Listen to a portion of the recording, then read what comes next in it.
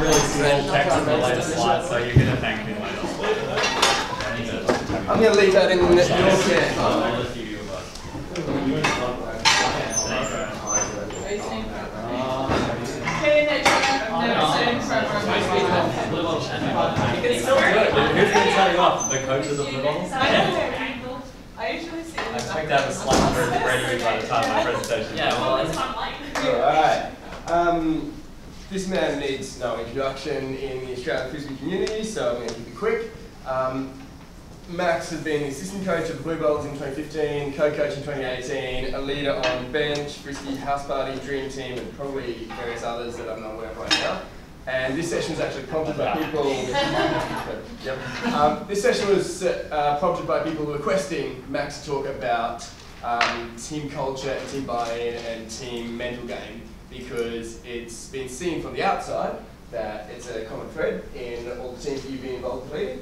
So we are hoping to hear more from the inside. Take it away. Great, awesome, thank you. Uh, thanks everyone. Um, I want to say straight off the bat that if you have any questions at any time, tell me obviously. But more specifically, I consider myself and the teams that I run in terms of culture a totally open book. So if you have really specific like GOS type questions that you want to ask me about teams that I've run or been involved in, so whether that be bench or frisky or um, uh, the blue bottles or anything else like that, obviously um, I may answer your question, I might not be, but I really want to be an open book. So if you see something here and you think I'm talking about something specific and you want to ask about how I've done in the past, please do. Also ask questions about how your specific teams could potentially implement the things here. Um, the presentations before are amazing. This is going to be super unsciency uh, compared to that last one. There are no graphs. Oh, and like there's one graph. um, so get ready for that. Um, I thought I'd probably start by talking a little bit about um, probably one of the hardest moments I experienced as a coach recently. Uh, and this was losing uh, the showcase game in front of, you know, lots of uh, crowd in uh, Perth and lots of people watching at home um, with the Blue Bottles. Um, that started this year. Um, you know, we were 7-1 up. We lost half 8-7 and then went on to lose the game um, on Universe Point, and it was incredibly tough. Um, it was hard as a coach because it felt like sort of failed team, um, and it was hard on the players because there was a lot of pressure to perform. We talked a lot about it, and we didn't live up to the. Um, but the one thing that I was so grateful for was that um, in the moments after we lost this game and in the days afterwards, what kicked in was all the stuff that we'd been working on beforehand. What kicked in was the preparation, um, the belief, um, the conversations, the trust in each other, all of those elements kicked in. And although it took a little bit of time and probably something almost resembling a bit of grief, um, then when we came back and played another streamed game um, against GB, who we've been talking and thinking about a fair bit, we won. And we won in convincing fashion, and we played most, the thing I was most proud of is that we played in a style that we were really happy with. At the end of that campaign, the thing that I was most surprised by was that it wasn't this game against GB that most people had remembered most fondly, it was actually our losses after this game in the semi-final and in the um, bronze medal match. People talked so fondly about those games, not because we won or lost, but because we played how we wanted to play and we were proud of achieving goals that we'd set that weren't tied to results. So um, that this whole experience has brought home how important team culture is basically because that first game could have just been the end of it, right? A complete collapse and I've spoken to many people who have been part of even World's campaigns where one loss has defined their entire experience. And I was so proud that it wasn't a loss that defined our experience um, because we didn't allow it to based on the strength of our team culture. So um, this was meant to be the title of my session, Team Culture, Mental Strength and Buy-in. I think all of these things are really important, but I guess I wanted to highlight that I don't think you can have buy-in unless you have a strong team culture. There's nothing ultimately to buy into unless you have something that you've agreed upon that will be your team culture. You actually don't have to agree on it. Your culture can exist regardless of that. But without that, there is no buy-in. And similarly, mental strength, its effectiveness needs to be built on a foundation of team culture. You can be a mentally strong individual, but you will not be a mentally strong team unless you have these team culture elements. An example I can give you is probably Frisky um, at World Clubs this year, where a lot of our players had played world representative campaigns before. They knew the demands of a world's campaign and they knew the mental strength, the preparation, all the little things, visualizations, all those elements. Um, but I think because we hadn't necessarily discussed our team culture in um, an explicit way, I felt that a lot of people found it hard to engage with those mental strength elements. And I think they were less effective because of um, uh, not having a team culture which we had discussed in a really meaningful way. So, I don't think I need to really convince any of you, hopefully, of the power and the importance of team culture. Um, I think that's probably why you're at this session, because you think that it's an important thing that you need to build. Um, but I would like to ask you guys, just straight off the bat, what you think, uh, why team culture is important. So if you wouldn't mind, just for, for my own purposes, if you can just turn to the person next to you or just get in a small group, you got 60 seconds, come up with all the reasons why team culture is important. Whoever comes up with the most wins. Go. 55 seconds.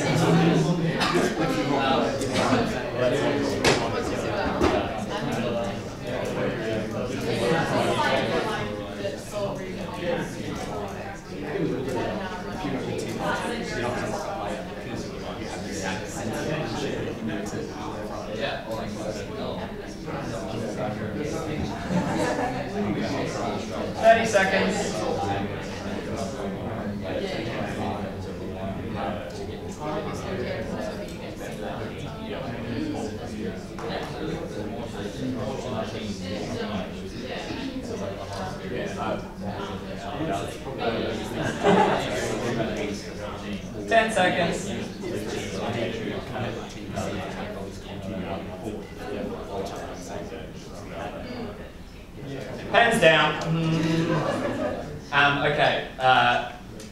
Up. Oh, no, no. Just tell me. Shout some uh, words at me.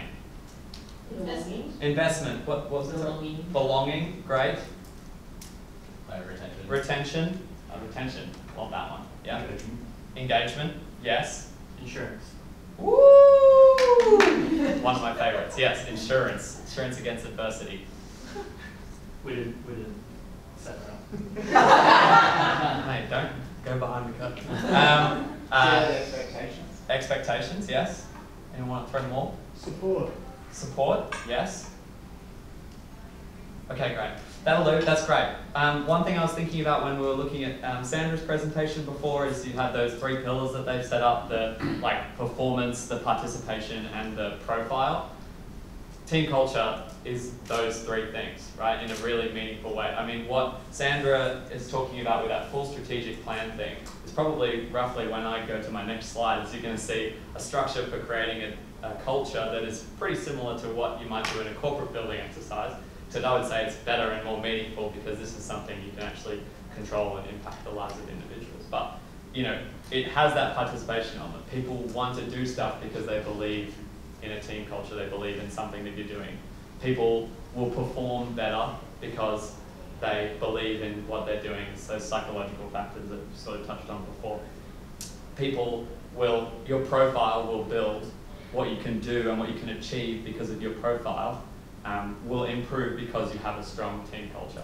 Uh, you can do more with a stronger team culture. So, um, lots of great reasons, and you know, into that goes recruitment and retention, and all of, all of that stuff fits into that category. So, you know, when we're thinking about it, you know, you can apply a similar structure to creating a team culture as you might, you know, creating the AFDA strategic plan. I can't believe I just said that. Um, all right, so uh, this is what I've come up with. Um, I don't think this is the be all and end all. I know. Let's talk about this. I don't think this is the be all and end all of um, how you might like to um, uh, start creating your team culture and starting from scratch. You can tell I'm not an engineer, so I probably should have put a stronger foundation on this particular upside down pyramid. Um, but the reason that I put um, what happens and what doesn't happen at the top and as the biggest section is because I think this is what people see, right? Or this is the actual experience of the team. This is like the thing that is happening, the, the thing that sits above everything else, right? But it's actually not the foundation of your team culture. You know, Mike Neal like to say your team culture is everything that happens, which is very true. Everything that you allow to happen is part of your team culture. I would extend that to say everything that doesn't happen or you don't do is also forms a part of your team culture in the negative. Um, but in terms of building a really strong and resilient team culture, you need to start at the bottom. You need to start with who you are um, before you can move to what you want to do, how you're going to do it, and then actually what happens. This structure is about being in control of what happens or doesn't happen. Not everything is within your control, but the having control of your own destiny is about starting at the bottom of this pyramid and asking yourself a little bit about who you are. So, let's start with you. Whoops. I want you to go backwards. Nice. Um, okay, I think uh, your foundation is always going to be built on you guys who are in the room. So you individually, I think a really important exercise in terms of you as a coach. If you really want to start building a strong team culture, you need to understand yourself, right? You need to know a little bit about your own strengths and weaknesses. You need to know what motivates you, why you're doing it, the why that Sandra was talking about earlier this morning, what you're good at, what you want to teach your athletes. Um, this can be done in a variety of different ways, and I don't think anybody really knows themselves as well as they think they do. That's the thing that Cole would say. Um, but the, um, you know, you can go down the personality quiz route. I'm talking about like the Big Five or the, um, you know, Myers-Briggs, not the like which Harry Potter character you based on what pizza you like, but like, um, you know, that might give you some insight as well. Um, I think you need to know that before you get going because I think that will have a strong impact on the team cultures you build. I build team cultures that I know I would want to be a part of, and knowing more about myself helps me more actively and deliberately build team cultures that I want to be a part of. So that's been a growing and a learning experience over time. Um, next is who are you in terms of who are your team? Who are you in terms of your athletes and the individuals that are making up a part of your team? You can't build a successful team culture unless you've listened, you've asked, listened to, and um, assessed, I suppose, or considered, strongly considered the athletes and the people who are part of your team. Um, because things like buy-in and, and, mental strength, all that stuff will be tied to the individual. So um, one thing I guess I want to, that can seem like a really big job. I think asking people um, what they think, how they feel. You, when people, when we think about this, we might be thinking about like a big three-hour planning session and a goal session and all that stuff. I think that stuff is great, and it's some of my favorite shit. All the little um, feelings and stuff, expressing all those in a big group setting. That's actually my favorite thing about ultimate frisbee. Um, but I would say even this can even be um, orchestrated at like a league level. Getting to know the people who are on your team, like why are they showing up to league every week or why are they're not showing up to league every week, knowing those little individual pieces, that allows you to start to build team culture. It all starts with the individuals. Um, so you can do it, you don't have to put out a questionnaire, you can just ask someone on the sideline a little bit about themselves and you can start to build a stronger and better team culture. Um, I think that is something that you sort of have to go off and do on your own, so I don't want to spend too much time on it. Um, what I do want to move to is the what do you want to be section. So uh, again, I guess to, I think that doing a big goal setting session is really important. What it has to tie to right off the top of the bat is who you are, which is a distillation of the values that you find really important. So you need to decide as a group the values that you most value, um, the qualities that you most value, the, um, the things that you want to be known for, um, and also what you're aspiring to. So what Sandra, again, I'm just going to copy the AFDA framework. You want to, you could create a vision and a mission. I don't think that's necessarily how to do it. You look at an ellipsis type model, they're very externally focused, I would say, which means that they create something that's really understandable to a lot of people. Now, you know, you know things have a vision and a mission that allows you to connect to um, a story outside of you know, your own experience, all that stuff. That could be one way to do it. You don't necessarily have to do that. You might go down the three word method, a really common one that every Australian team since, God since I started playing, loves the old, like, belief destroyed love something. Three, three words that they feel like encapsulate their team culture. I think that's really powerful and something that's a really simple way to get back to what you're doing. Um, you might be targeting recruitment, so you might want to make it big and bold and aspirational and external focused and fun and great. You might want to make it really personal to you and something that not anyone who's not part of the team is going to understand, um, because that's a stronger way to build your team culture in the first instance. That's a decision that you have to make. Um, I would say the one thing I'd point out here is that in terms of goal setting, I think it's really important to um, tie it to what success should look like at the end of a campaign or um, at the end of a season or, or in the future some way. This is a pretty common thing that when sort of Anna runs goal setting sessions, she asks you to frame it in a way that says, you know, at the end of the tournament we will be this, that, and the other. Um, or we will have experienced this, or we will have done this. This will be the feeling at the end. Um, it's something that's immediately easier to tie to, um, and I feel like it's a more aspirational way of expressing a desire to, to be something and to change yourself, especially if you're asking for people to buy into a particular team culture. Um, the example that, of the blue bottles that I would give is that at the end of the campaign, even though, for example, we've lost the last two games, everybody felt like we'd achieved our goals. We were exhausted, was, was one of them. We wanted to be exhausted because we put everything on the field. We wanted to be, um, we wanted to have played with everybody on the field, and we felt like we'd done that, especially in our final two games. We wanted to feel like a family and feel really connected, and everybody certainly felt that way in that moment. So um, none of those goals were results based. All of those were sort of feeling based, and you know we achieved them and felt like we've done a lot as a result.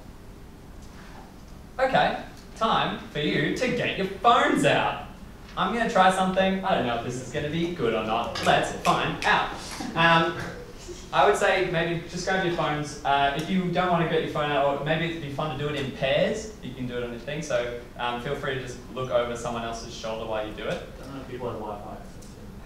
Yeah. Can you get the internet down here? No, it's a bombshell. Uh, rip.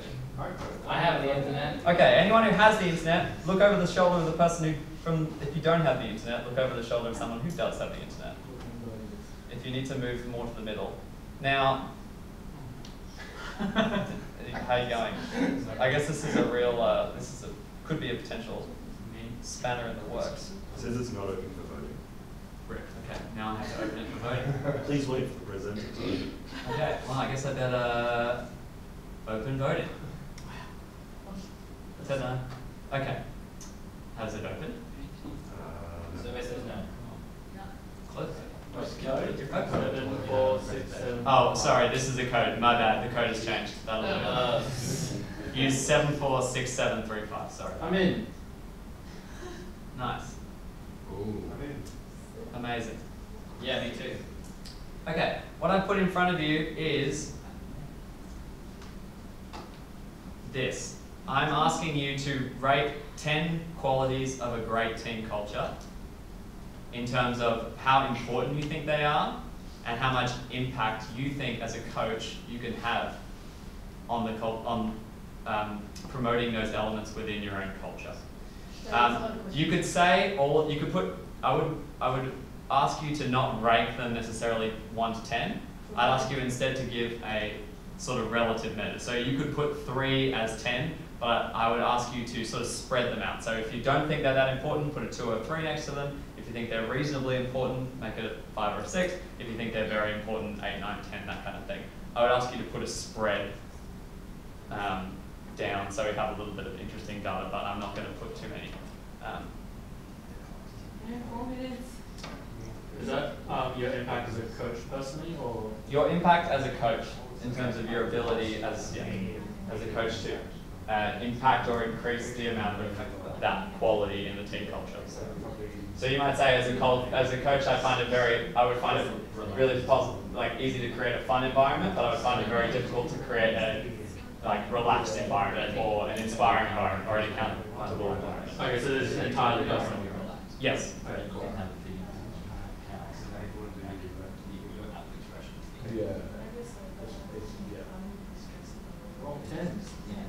Tens across the board. Yeah, I mean, I think there's Oh, another. well, Trusty.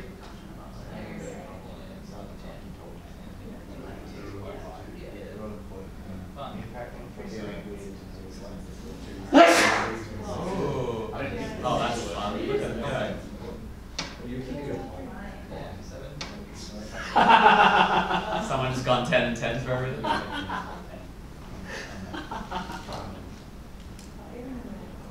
much fun. I just wanted to play with tech. You can tell how bad. Is it cool? You enjoy it in your What's that? You enjoy it in your Super cool to be. Playing strategy, I think. Um, yeah. Yeah, they're really fun. Okay, so we're in the middle. Yeah.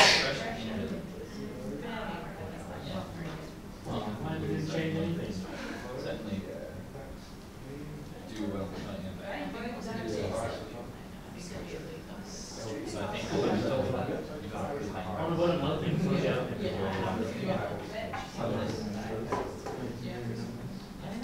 You didn't do that. Yeah, and your enterprise might as well. Um, count- count it. That's great.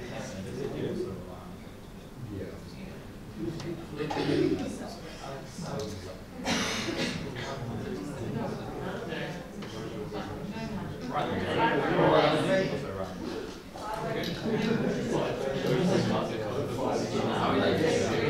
If you didn't around the code and I. Oh, you know me, no, I'm not sending, uh, triple I think it's a Dutch one, so maybe that thing in Europe.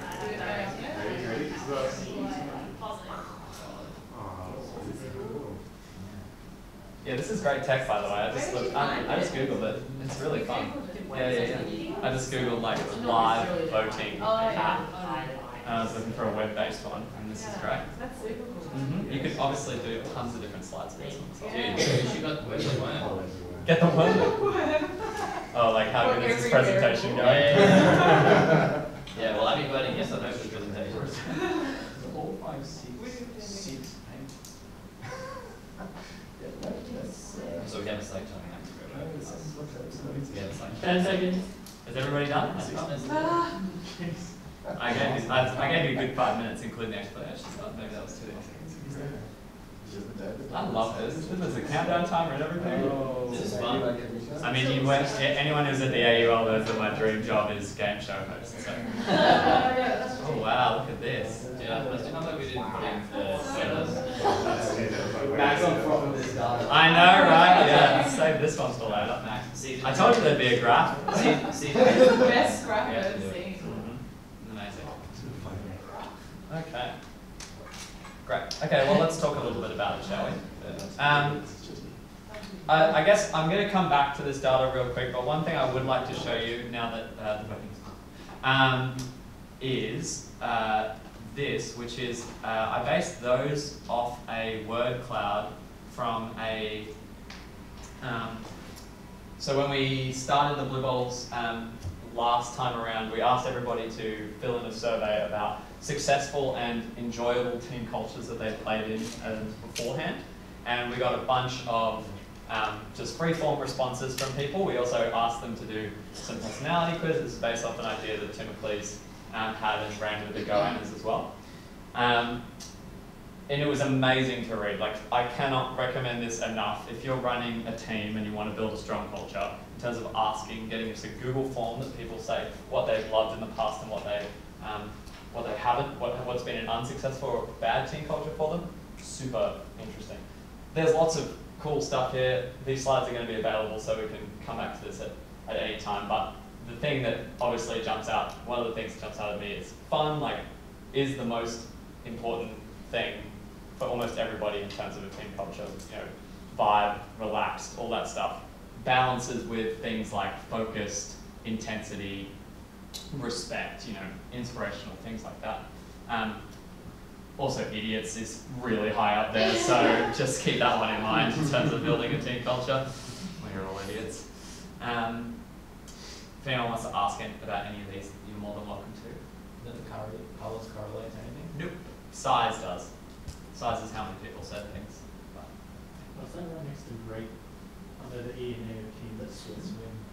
Swim. Yeah, I think that was. Maybe they went for. Oh, they I think they went. They swam together. They did stuff outside of frisbee. Bottles or? No, not related. Um, okay, cool. So, uh, what I want to do now, I guess, is go. Is we're going to move to this section and then use the information that you just gave. I'll get to that in a second. Uh, so you've decided where you want to be. Let's talk about how you're going to achieve it. Um, I'd like to use some of that data that you've just given me for us to now brainstorm some ways to potentially achieve things in the categories that you thought you were un- maybe unable to impact as a coach, um, but that you think of are of a high level of importance. So um, I'll just do a little spiel on terms of how you're going to achieve things. Um, this is the section where you achieve, where you get buy-in. The gap between what you want to be and how you're going to achieve it, this is where all the buy-in, from my perspective, is generated. Because uh, getting people excited about a vision is getting people excited about what you're actually going to do to achieve that vision. And if people feel bought into what you want to be, then they'll come and do how you want to achieve it, right? But that underneath part generates the buy-in for how you're going to achieve it and making it super exciting about how you're going to do the thing that you're excited about that's double excitement which as far as i'm concerned creates double the buy-in maybe quadruple the buy-in i'm not a mathematician um, uh, so in terms of creating um, structures and things to achieve uh, your great team culture a classic UE slash Slytherin move um, is to know in advance what you actually want to do as a coach and then convince your athletes that they've come up with the idea themselves. Um, you can do that through structured conversations, through guiding them to, as soon as they say something that you want to hit on, hitting on that and going back to that, um, asking leading questions, emphasizing repeating things, just coming back until you get the answer that you want. Really, really important that you don't say, hey, how about we do this? Or no, it's like super important. It's way more powerful if they have come up with the idea, um, because that way you'll get um, a lot more buy-in because it feels athlete-led. Um, I think a really other another important thing about this is in terms of achieving these goals and just in general for a feeling of satisfaction, empowering articulate leaders in your group to be catalysts for um, achieving your like goals super, super important. Work out ways that you can empower your athletes to be leading your team culture rather than having everybody follow it from one perspective. It's great for sustainability. Like, if you are not there, then the culture will still continue to happen and to grow. Um, it's great for the development of your, um, your leaders specifically, for them as individuals. Um, and it's going to allow you to do more. It's good for scalability, I suppose, is that if more people are involved in doing it and coming up with ideas, you won't have to do it all on your own. Um, yes, the, the last thing is in terms of creating structures to achieve things, um, making self-propagating structures and then you being in charge of just stoking the flames, being the person who um, yeah, is the hype person who deals who just deals with troubleshooting of structures or who um, encourages people to remember to stick to the structures or to do the structures. So um, if you want like one simple example, let's say for a world's team, you have like a mentoring relationship between your athletes, so you're getting them to be involved in Facebook chats with each other, groups of three, they're, ha- they're meeting every X number of days, or they're talking about certain things each week. Let's say you like you give them a prompting question and they come back with an answer, or they just discuss how they're feeling, whatever else. There's lots of different ways to do it. I'm sure Kyle, um, when they present tomorrow about the juniors, is going to have tons of really amazing practical ideas for how you build an amazing team culture. But making those stru- structures self-propagating, so you don't have to do too much. So they're already talking to each other, setting up the Facebook groups, just prompting them with questions to continue to use those, and then making sure they're talking to each other in those chats. So when you have a chance to interact with those athletes, making sure that they're doing that thing and subtly prompting them to re-engage with those conversations. That's a much better structure than you having to do it all yourself. So let's go back to the data. Um, So let's see what you guys came up with. Okay, the thing that you feel the most ability to, the most importance is a trusting team culture. Nice. Does anyone want to talk about why that was high on people's list of importance? I, I, uh, yeah, I was right up there. Um, I know that was the number one thing I took away from playing that campaign was trust.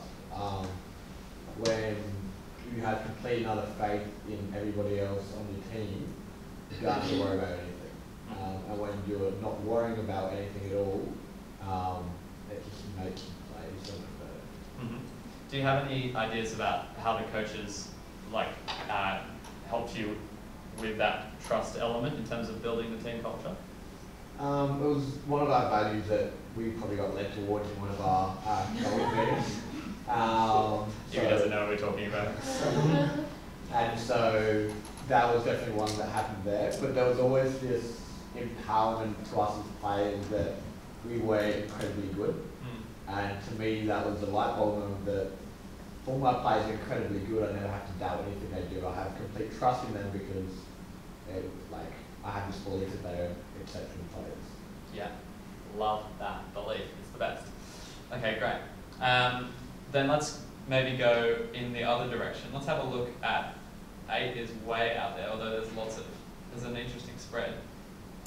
Uh, eight is a selfless team culture. Does anyone want to talk about? Um, they, a lot of people put it below half in terms of their ability to impact. Does anyone want to talk about why they don't feel um, like a coach can impact how selfless the team is? I think, uh, from my perspective, a lot of the influencing in this parameter is done around the selection process, and I think it's something inherent to personalities. And obviously, you know, they express themselves in different ways in different contexts, and you can try and facilitate an environment that is selfless, but I feel like, you know, in season, working with a particular team, um, it can be difficult because it is something like quite inherent to just, you know, people's core personalities. Mm-hmm. Cool. Um, yeah, so obviously one important thing with, as with that structure, everything is based on who you are, right? So if you have a bunch of people who are not selfless or whatever, that may not be a quality that you want to. It's, you don't want to foist a quality on people that either the people don't have, although I would argue everybody can be a lot of different things if you create the right environment, but you need to make sure that people value that quality. And if nobody in the team values it, you don't need to foist it upon them.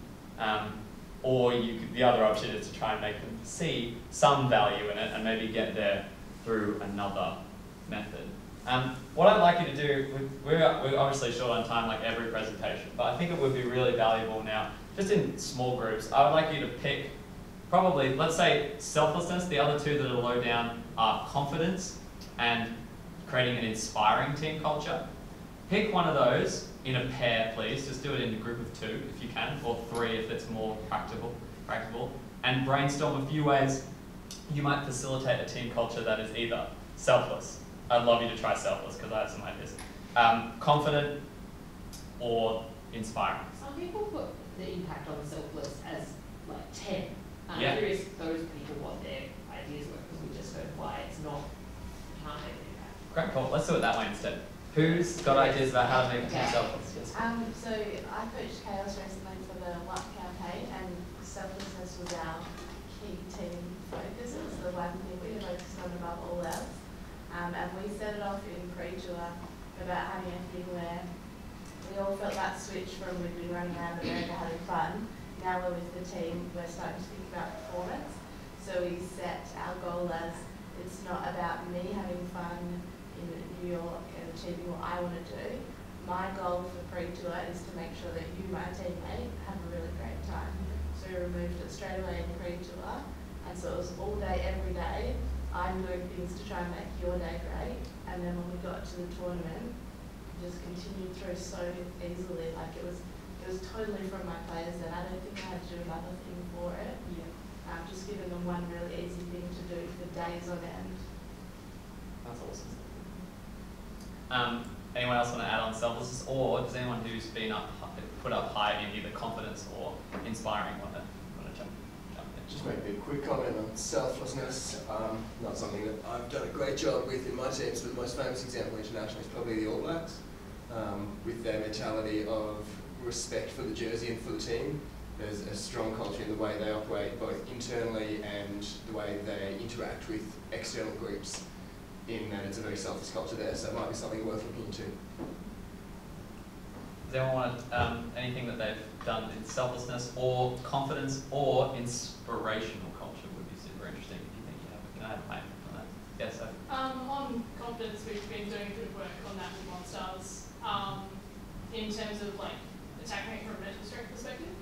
And so just kind of like talking about confidence as not a feeling, but Mm. Um, and so, yeah, like some exercise we've done is getting people to visualize feeling quite nervous and unsure, um, but then still you know, cutting confidently or throwing confidently or you know taking aggressive options and stuff like that. So, yeah, um, basically visualizations that talk about that. Amazing. Yeah, and I think that's sort of what I was getting at with that removing mental strength and the idea of team culture is I think mental strength is a tool to get to a really strong team culture in many ways. Um, and so you, you're using it as a, as a way to tie into team culture. So culture for me sits above all that, that other stuff. And that, yeah. Um, I have a lot of confidence with teams that I've coached before. I've noticed that um, you're always being watched by your team, by the other team, and so your body language more than anything else will um, spread out through the rest of the team. So pre-game, you're frantically jotting down notes, scouting the other team out, trying to figure out what they're doing. You look frantic. That sets off the warm up in the wrong tone, and it just sets the wrong. You take the, the, the wrong first step in the game, and it just all kind of falls apart. You, if you're fortunate enough to have assistant coaches, get them to do that. You stay with the team and feel like feel that energy as the as the head coach or the person being that um, yeah the one that they watch all the time. And I think it's yeah advice I give to a lot of coaches that you're you're being watched all the time, even though you don't think you're being watched. And yeah, that advice helped me a lot in this most recent Blue Bottles campaign where we, like as a coach, I had a real crisis of confidence and needed to project confidence towards the team.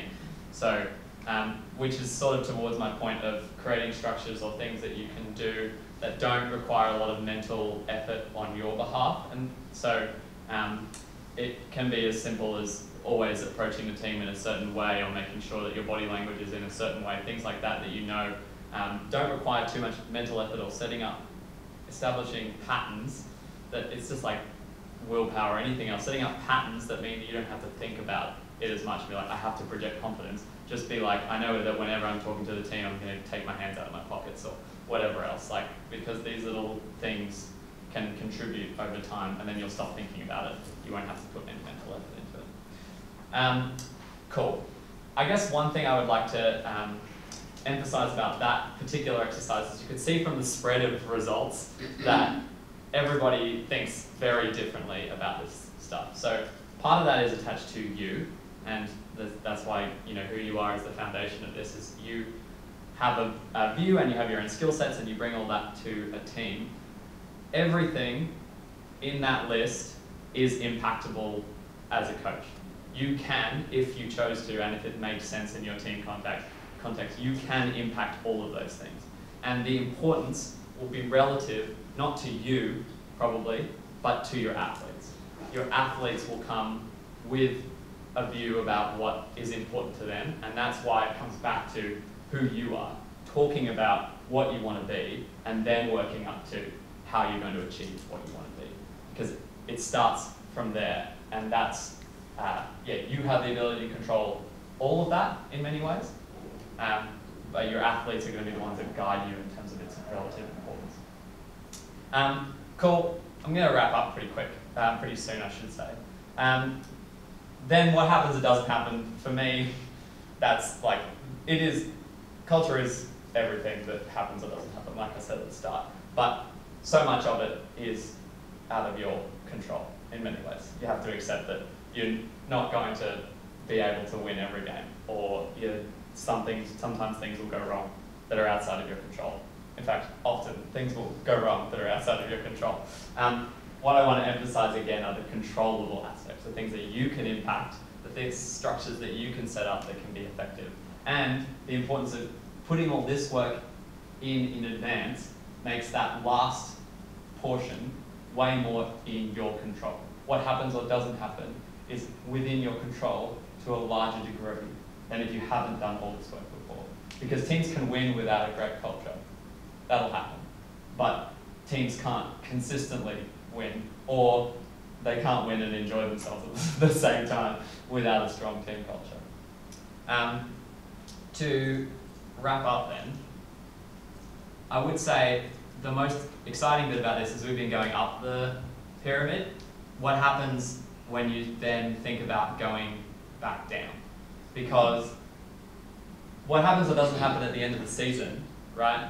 When you come back next year, or when you come back next campaign, or when you go to training the next time, who you are as a result of the team structure that you've created is different. Like this whole structure exists to develop yourself and it exists to develop your athletes. And so when you come back in a year's time or if you look back on a campaign or whatever else, you are different because of the process that you've gone through with this culture, right? So when you're being a leader and creating a team culture, you should get excited about the opportunity that you have to change that underlying structure, to change the who you are and who your team are and who the people you're playing with are or the people that you're coaching are.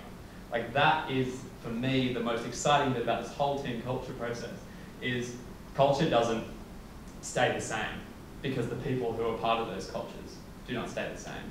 And you have the ability to positively impact that. And that's the value of team culture. So, yeah, I think I'm done, eh?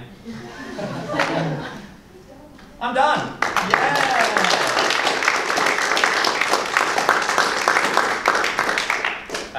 It's 12.30 now, it's lunchtime. Uh, you can ask me any questions you want, or you can all piss off.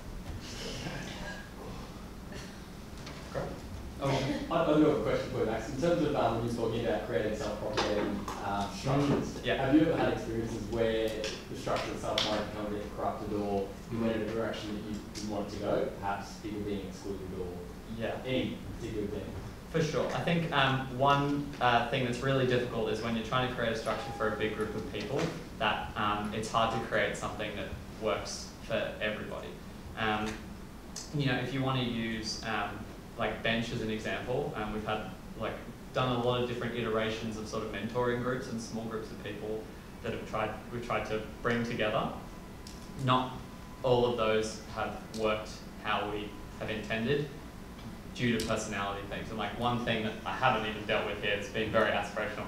How what do you do with people who are problematic and difficult in team cultures? Um, the answer is at the first step, getting to know. It's it's going back to the bottom of that structure, right? It's who are they? What is motivating them, or what is demotivating them, or what's causing them to be in that way? I'm not asking you to like totally psychoanalyze them and solve all their problems because that is the road to madness, um, trying to solve that problem. But one thing I would say is um, the, the, the thing is to not get so tied to your structure that um, it's not doing the thing that you wanted it to do. So for bench, we just listened to the players who said, this structure is not working for us. Like we had an aspiration that Div 1 people and Div 2 people would be talking together and they would be mentoring each other and building each other up and all that stuff. That was great. Except the issue was the Div 2 people felt like it was condescending to them in that way that it was presented. So we basically scrapped it halfway through the season and we reconsidered the next season and worked out more specific sort of one-on-one groups. So it was like just one person talking to another person, checking in with how their season was going, and it wasn't. It was a one-on-one friendship building thing rather than a mentoring group that felt like it was one one thing. Even though some people really valued it, like I would say there was three groups or two or three groups that really got a lot out of it, but that's two or three groups out of probably eight or nine, so it wasn't working for. Those people still friends doing their own thing, one-on-one worked way better. So uh, assessing, I guess, and trying to change as you, as you go through. Yeah. Um, I agree with your, your opening point about uh, that you renamed it just team culture because those other things can't really exist without the culture. And I think um, like when I give my talk tomorrow, I'm going to speak a bit about our culture that we had.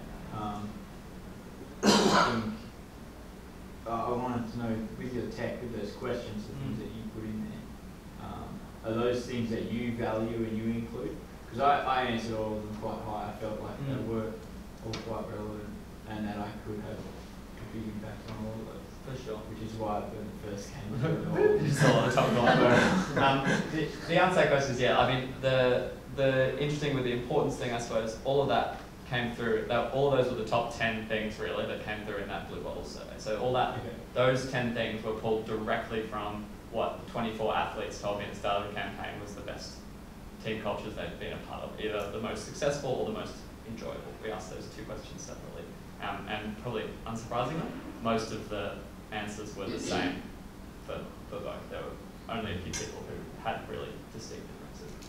Um, yeah, I think my point was definitely that you could impact all of them. Importance wise, the, all those things are good. I don't think anyone would be like, oh, I don't want a hardworking and accountable team culture. Um, uh, but the importance is going to be guided by the athletes, and you should have an idea. You should have a sort of guiding principle, but the more that you can open up to the desires of the people that you're coaching or the club that you're a part of, um, that is for the best, I think, um, and will generate greater buy-in because it feels like it comes from them. It feels natural um, to be a part of. Does that answer your question? Sick. We're done now. Let's go get lunch. Um, just before we go to lunch, I'm just going to quickly advertise for the next one in here because it kind of popped in and out of the schedule a couple of times, so it probably didn't get advertised. Uh, the next session is a series of short videos from people who have played at nationals level in both Australia and at least one other country. And they're providing a video with a bit of perspective on what they see the differences are between the other country, countries, and Australian ultimate. So essentially a series of those where we'll watch a little video, have a little chat, watch a little video, have a little chat. Was this uploaded against this last night? Yes. Uh, yes. Another one. I, it came quite late. Sorry, you. Uh, no, but the, the plenary is also different for this afternoon. Uh, the physios are coming in chat instead of Nish. Yeah. Oh, great, sorry. Sorry, my bad, sorry, Corinne's next. One thirty. The coaching one was the top, right, I was, I was thinking about the three thirty session, sorry. Um, My bad. No. Sorry, next coach. Lunchtime. The structure, as you see it, is correct. That That was really good. A pleasure, thank you.